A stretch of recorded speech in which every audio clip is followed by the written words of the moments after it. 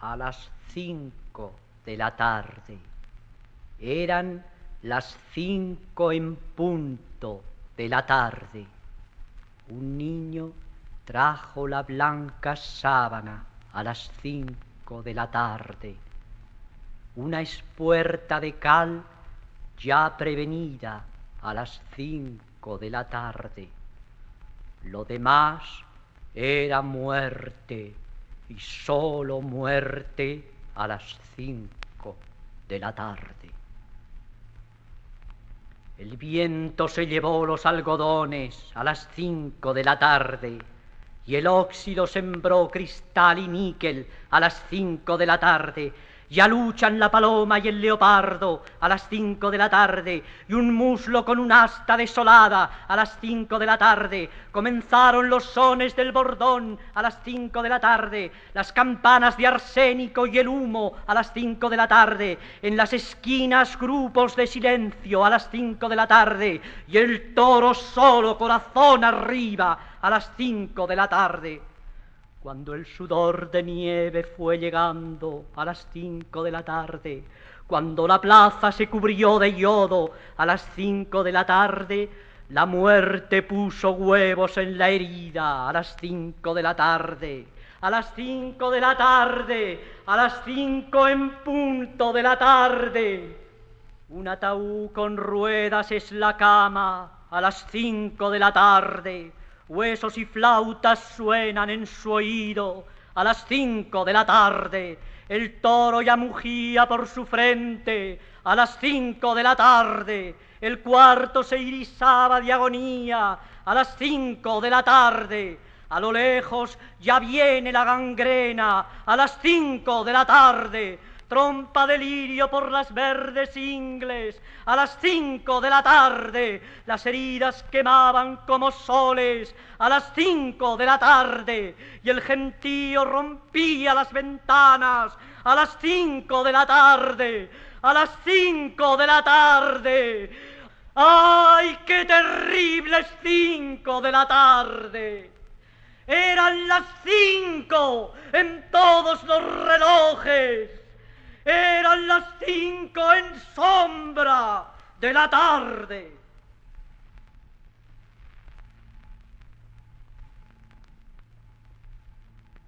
Que no quiero verla. Dile a la luna que venga, que no quiero ver la sangre de Ignacio sobre la arena. Que no quiero verla. La luna de par en par, caballo de nubes quietas, y la plata gris del sueño con sauces en las barreras. Que no quiero verla, que mi recuerdo se quema. Avisad a los jazmines con su blancura pequeña. Que no quiero verla. La vaca del viejo mundo pasaba su triste lengua sobre un hocico de sangres derramadas en la arena y los toros de guisando, casi muerte y casi piedra, mugieron como dos siglos hartos de pisar la tierra. No, que no quiero verla.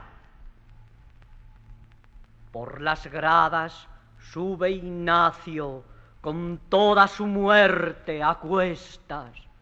Buscaba el amanecer y el amanecer no era busca su perfil seguro y el sueño lo desorienta.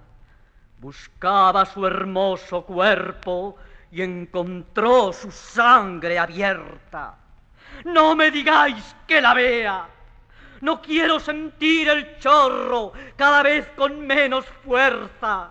Ese chorro que ilumina los tendidos y se vuelca sobre la pana y el cuero de muchedumbre sedienta. ¿Quién me grita que me asome? No me digáis que la vea. No se cerraron sus ojos cuando vio los cuernos cerca, pero las madres terribles levantaron la cabeza y a través de las ganaderías hubo un aire de voces secretas que gritaban a toros celestes, mayorales de pálida niebla. No hubo príncipe en Sevilla que compararse le pueda, ni espada como su espada, ni corazón tan de veras, como un río de leones su maravillosa fuerza, y como un torso de mármol su dibujada prudencia. Aire de Roma andaluza le doraba la cabeza, donde su risa era un nardo de sal y de inteligencia. Qué gran torero en la plaza, qué buen serrano en la sierra, qué blando con las espigas, qué duro con las espuelas, qué tierno con el rocío, qué deslumbrante en la feria, qué tremendo con las últimas banderillas de tiniebla. Pero ya duerme sin fin, ya los musgos y la hierba abren con dedos seguros la flor de su calavera y su sangre ya viene cantando, cantando por marismas y praderas, resbalando por cuernos ateridos, vacilando sin alma por la niebla, tropezando con miles de pezuñas como una larga, oscura, triste lengua para formar un charco de agonía junto al Guadalquivir de las estrellas.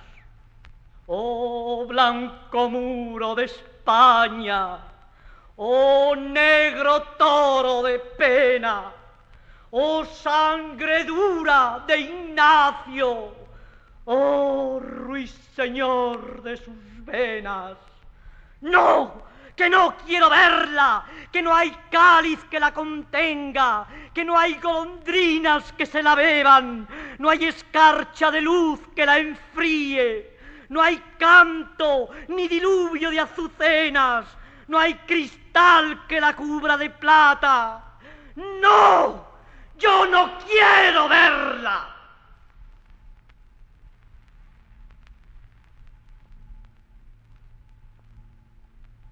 La piedra es una frente donde los sueños gimen sin tener agua curva ni cipreses helados. La piedra es una espalda para llevar al tiempo con árboles de lágrimas y cintas y planetas. Yo he visto lluvias grises correr hacia las olas, levantando sus tiernos brazos acribillados para no ser cazadas por la piedra tendida que desata sus miembros sin empapar la sangre. Porque la piedra coge simientes y nublados, esqueletos de alondras y lobos de penumbra, pero no da sonidos, ni cristales, ni fuego, sino plazas y plazas y otras plazas sin muros. Ya está sobre la piedra Ignacio el bien nacido. Ya se acabó. ¿Qué pasa? ¿Qué pasa? ¿Qué pasa? Contemplad su figura. La muerte le ha cubierto de pálidos azufres y le ha puesto cabeza de oscuro minotauro. Ya se acabó. La lluvia penetra por su boca, el aire como loco deja su pecho hundido, y el amor, empapado con lágrimas de nieve, se calienta en la cumbre de las ganaderías. ¿Qué dicen? ¿Qué dicen? ¿Qué dicen? Un silencio con hedores reposa. Estamos con un cuerpo presente que se esfuma, con una forma clara que tuvo ruiseñores y la vemos llenarse de agujeros sin fondo. ¿Quién arruga el sudario? No es verdad lo que dice. Aquí no canta nadie, ni llora en el rincón, ni pica las espuelas, ni espanta la serpiente. Aquí no quiero más que los ojos redondos para ver ese cuerpo sin posible descanso. Yo quiero ver aquí los hombres de voz dura, los que doman caballos y dominan los ríos, los hombres que les suena el esqueleto y cantan con una boca llena de sol y pedernales. Aquí quiero yo verlos, delante de la piedra, delante de este cuerpo con las riendas quebradas. Yo quiero que me enseñen dónde está la salida para este capitán atado por la muerte. Yo quiero que me enseñen un llanto como un río, que tenga dulces nieblas y profundas orillas, para llevar el cuerpo de Ignacio y que se pierda sin escuchar el doble resuello de los toros, que se pierda en la plaza redonda de la luna, que finge cuando niña doliente res inmóvil, que se pierda en la noche sin canto de los peces y en la maleza blanca del humo congelado. No quiero que le tapen la cara con pañuelos para que se acostumbre con la muerte que lleva.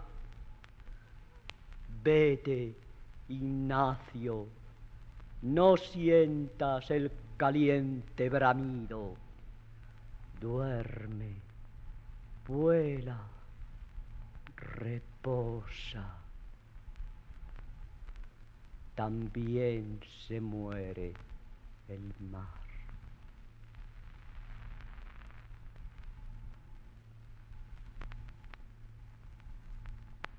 No te conoce el toro ni la higuera, ni caballos, ni hormigas de tu casa.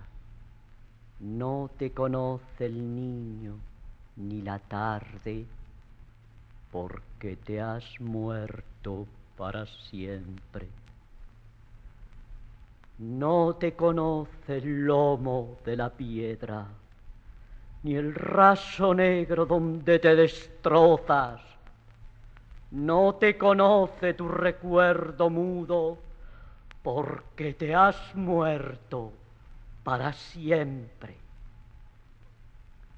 El otoño vendrá con caracolas, uva de niebla y montes agrupados, pero nadie querrá mirar tus ojos, porque te has muerto para siempre porque te has muerto para siempre, como todos los muertos de la tierra, como todos los muertos que se olvidan en un montón de perros apagados.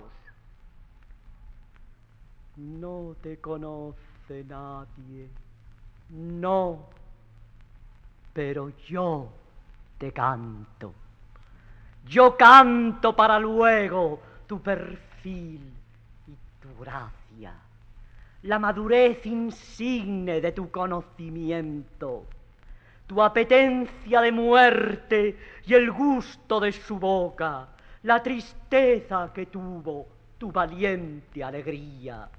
Tardará mucho tiempo en nacer, si es que nace, un andaluz tan claro tan rico de aventura.